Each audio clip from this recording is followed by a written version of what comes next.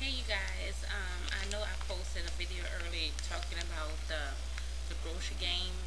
Um, a few people have emailed me privately to ask me a few questions. That's fine. Um, and if any of you guys have any questions. Another thing about the grocery game that I forgot to mention is these little packages. You can get on this thing with it, which is called a coupon train, depending on if your area or your state has one.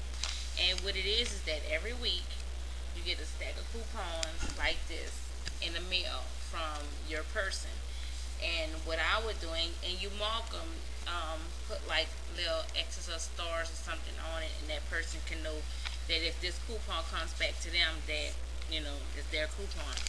Um, and you get your coupons, you go through it, you see, you know, which ones you can use, what you think you may need, and then you add however many you take out, you try to put that many in, and then you send it to the next person.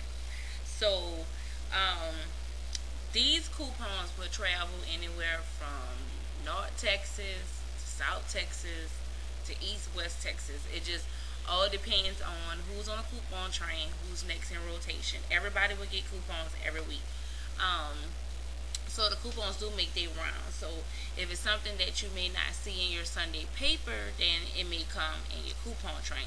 So you try to get coupons um, at least by Monday or Tuesday for the next week coming. Like so, this Saturday coming, um, I'm gonna get a new thing printed out, and I can go through this, see if there's anything that I need, and I just mail it on out.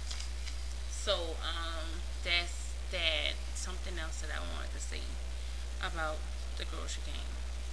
I can't remember right now, but the grocery game has a lot of web. Um, the website has a lot of information on it, and you just enter your zip code and see what comes up in your area, and it'll, it'll let you know. So basically, the website can answer a whole lot of questions that I may not be able to answer, and I think that's it. So if I think of anything else, I'll just put a video up and talk to you guys later.